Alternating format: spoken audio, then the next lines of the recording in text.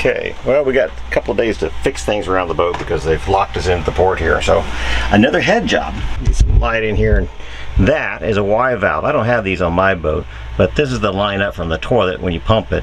And this selects whether it goes overboard or back down this hose right here into a tank where you can hold it. So if you're in a marina, you would normally hold it we have it overboard right now, which is typical because when you're in a marina, most time you just you take a piss into the toilet, and to take a dump, you go up to the marina. In this case, that pipe probably leads back right into the water here anyway, but hey. Flip it like that and you're putting it into your tanks. We don't want to do that, but a macerator is hooked up to the tank and then it chews it up and spits it out once you're 12 miles out.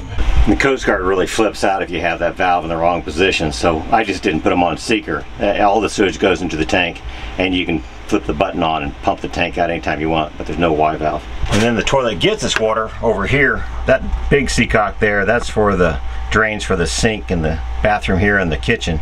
Over a little bit more, that little one, that's the water feed for the toilet. Now the trick here is it's got a little T-handle on the back side there. You gotta loosen that first. It'll leak a little bit and then you can turn this handle here. Give that a few turns.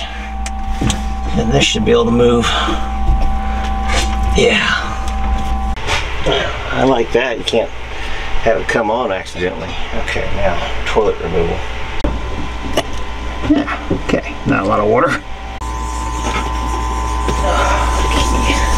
If any of you got queasy stomachs, you, you really got no place being on a boat. You gotta get over that first. You, gotta get over a little puke every once in a while because you or someone else is gonna do that. I worry about people who think they gotta live in a sterile world. They must use teak on these things down here because I mean, it's in good shape. It's nice and hard. We just need to put another screw in it, make it a little more stable in here. A little bigger screw. Let it dry out, clean it up, and fix the toilet in the meantime. Skipper Type 8. I love this pump. Well built. Brass and bronze, and uh, you know, hell, you could get rid of the paint. It'd look fantastic. But it uh, holds up well. The parts are easy to take apart, and uh, they're still available. So if you need them, you can buy pieces for it. And that's the main plunger.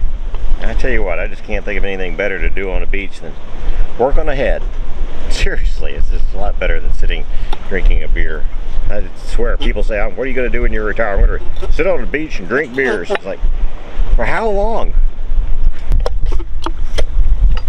Doesn't use O-rings, it uses stuffing glands. That's the old one there.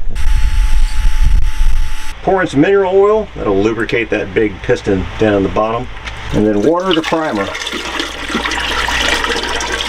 It makes me need to pee. It's not pouring out anyway. Yes, it is right there. It is? That's horrible. We didn't tighten up the joker valve.